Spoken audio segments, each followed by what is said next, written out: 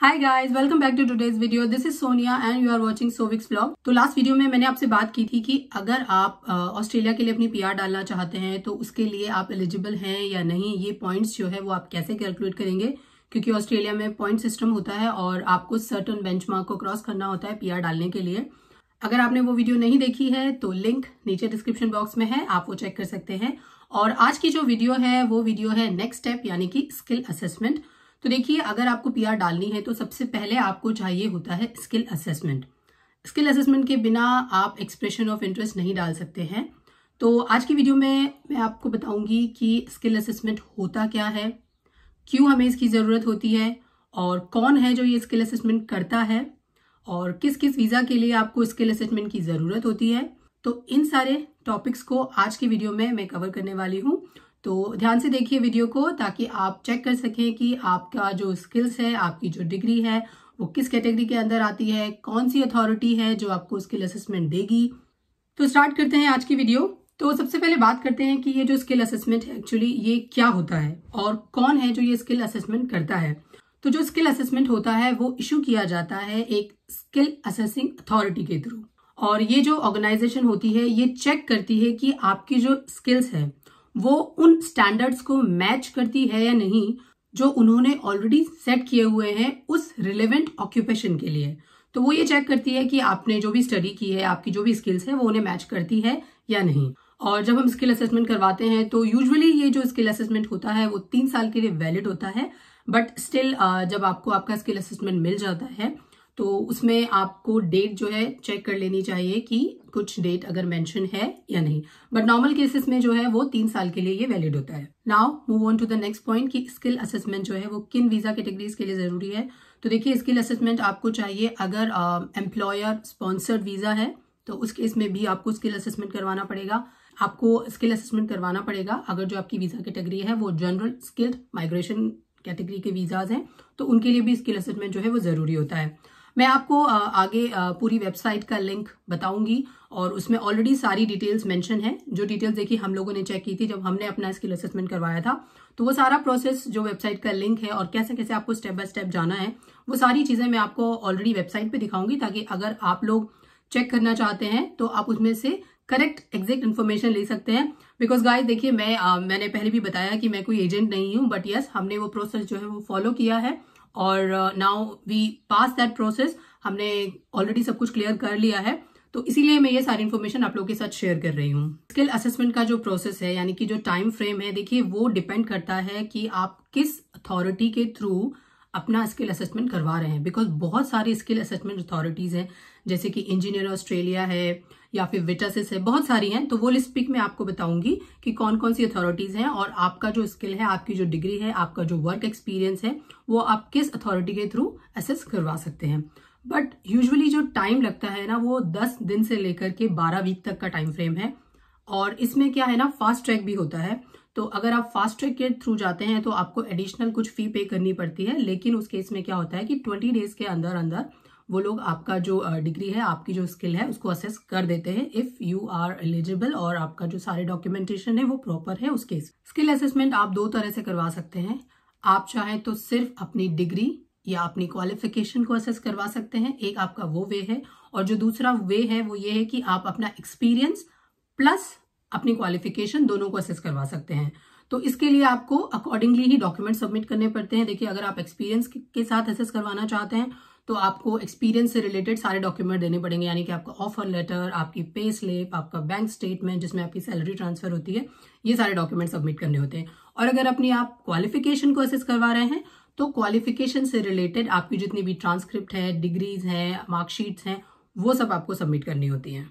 सो so guys ये तो था एक ओवरव्यू स्किल असेसमेंट के बारे में। अब मैं आपको वेबसाइट के थ्रू दिखाती हूँ। उसमें सारी इन्फॉर्मेशन स्टेप बाय स्टेप है और आप अपने लेवल पर उसको अच्छे से चेक कर सकते हैं। तो आइए मैं आपको दिखाती हूँ कि किस तरह से आप स्किल असेसमेंट की सारी इन्फॉर्मेशन ले सकते हैं। सो so गाइज़ ये है इमिग्रेशन की वेबसाइट ऑस्ट्रेलिया इमिग्रेशन की। तो आप इसमें देख सकते हैं कि स्किल असेसमेंट के लिए आपको क्या क्या चाहिए।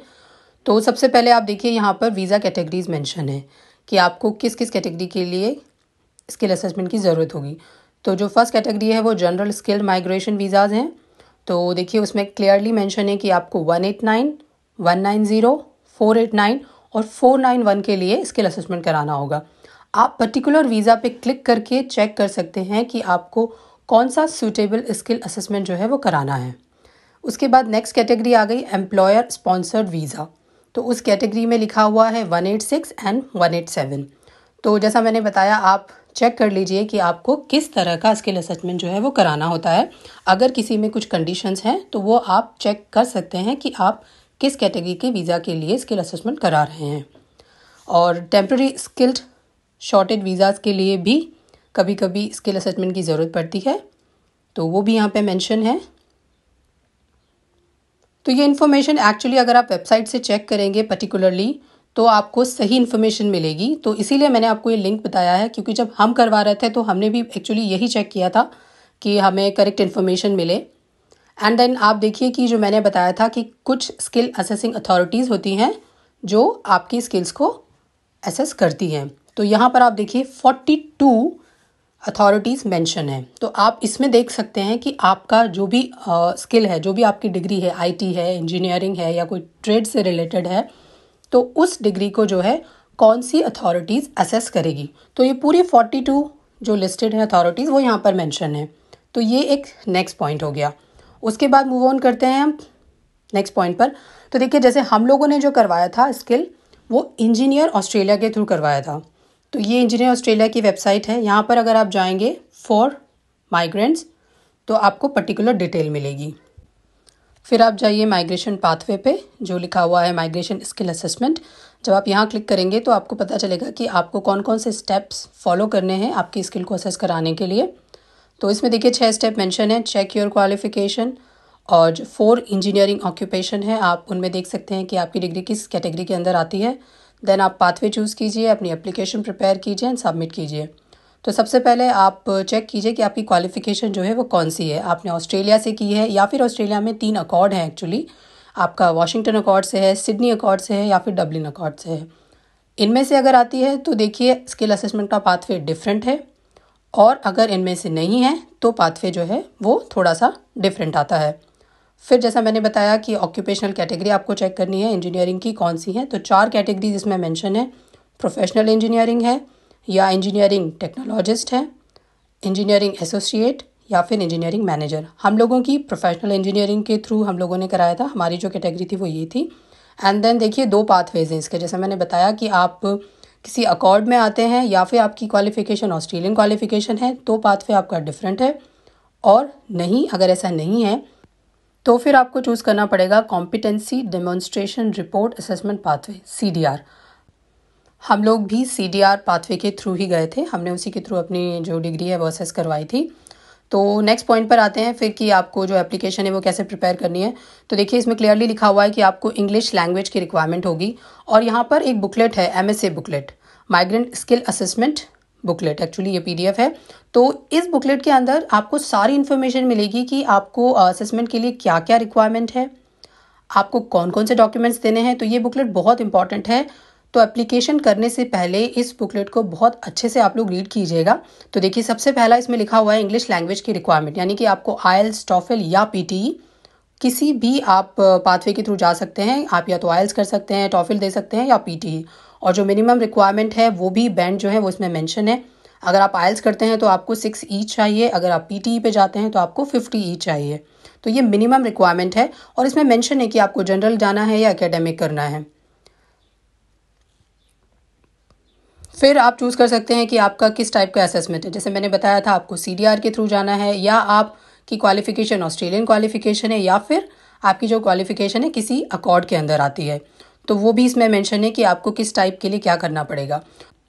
नाउ देखिए, अगर आप सी डी आर पाथवे के थ्रू जाते हैं तो आपको किन किन डॉक्यूमेंट्स की ज़रूरत पड़ेगी, वो इसमें मेंशन है।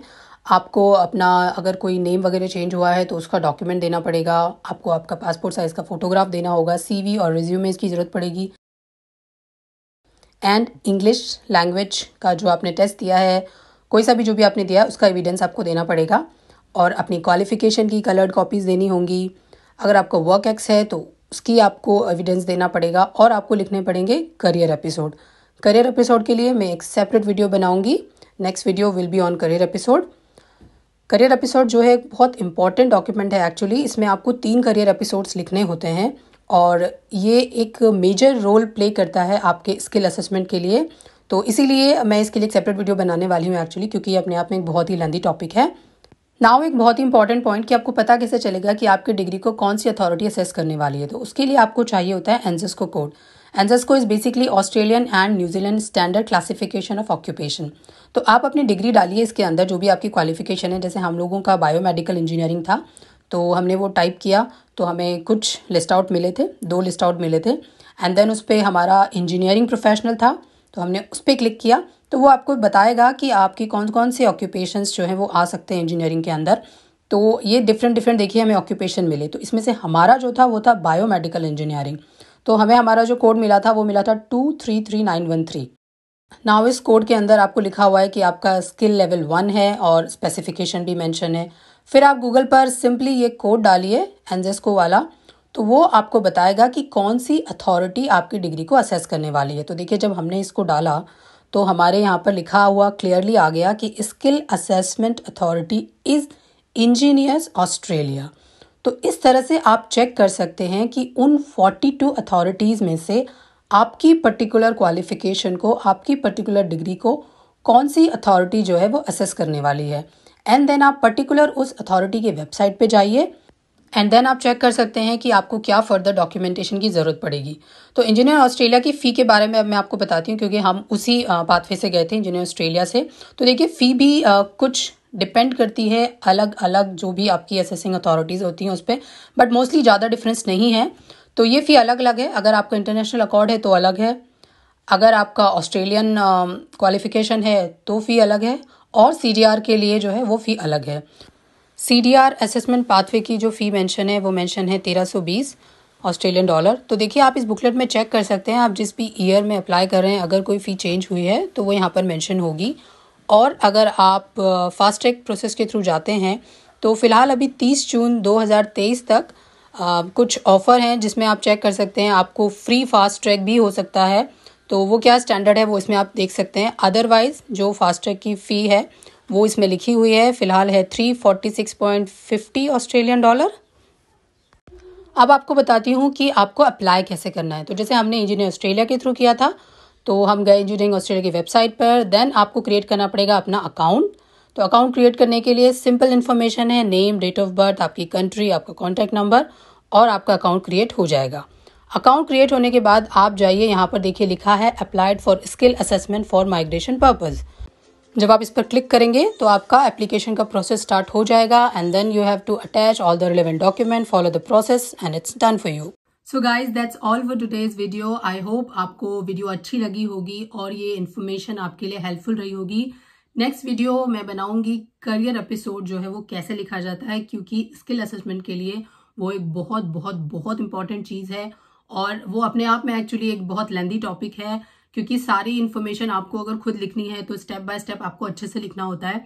तो इसीलिए मैंने सोचा कि वो मैं एक नेक्स्ट वीडियो में आपको अच्छे से एक्सप्लेन करूँगी, क्योंकि हम लोगों ने भी अपना करियर एपिसोड खुद ही लिखा था। और टाइम टू टाइम हमें जो केस ऑफिसर्स थे, उनसे रिप्लाई भी आया था तो हमने कुछ करेक्शन करके भी भेजे थे। तो इसीलिए नेक्स्ट वीडियो में मैं पूरा आपको डिटेल में बताऊँगी कि अगर आप अपना करियर एपिसोड लिख रहे हैं तो आपको किन बातों का ध्यान रखना चाहिए और कैसे आपको करियर एपिसोड लिखना चाहिए। तो इसके लिए वेट कीजिए आप नेक्स्ट वीडियो का। Till then bye bye take care and thanks for watching